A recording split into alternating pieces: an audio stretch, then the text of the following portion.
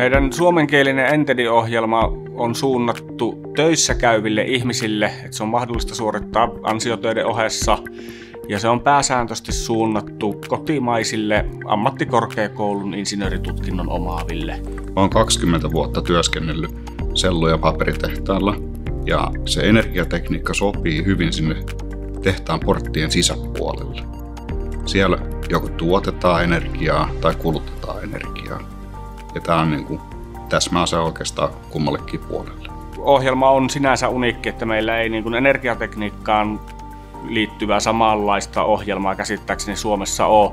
Mä oon oppinut perehtymään asioihin syvällisemmin kuin aikaisemmin. Ja sitten kun asioihin perehtyy syvällisemmin, osaa myös perustella ne täsmällisemmin. Hyvin vahva pääpaino ohjelmassa on energian käytön ja hankinnan hallinnalla. Ei niinkään energian, varsinaisella energian tuotannolla, mutta siinä, että miten esimerkiksi energiatehokkuutta voidaan parantaa, miten energiahankintaa voidaan parantaa. Täällä katsotaan niin kuin yleiskuva laajemmin energiatekniikkaa, energiatekniikan haasteisiin ja sitten käydään niitä perustekniikoita siihen läpi, mitä nyt on olemassa. Ja ehkä vähän ollaan katsottu sitä suuntautumistakin, että mihin päin ollaan menossa.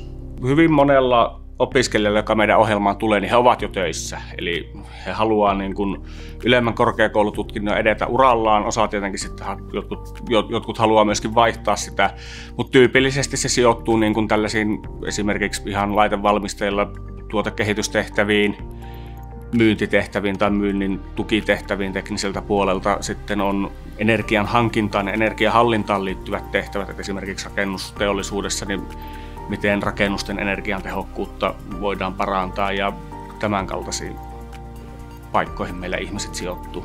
No, tällä hetkellä voidaan niin kuin suoraan työelämää verrantaa nämä opinnäytetyöt, mitä ollaan tehty. Eli niitä tehdään tässä ohjelmassa kahdesta kolmeen kappaletta. Ja se opinnäytetyö on mun mielestä sellainen hyvä ää, asia, millä pystyy yhdistämään oman motivaation, ää, koulutuksen ja tämän ohjelman sinne työpaikalle.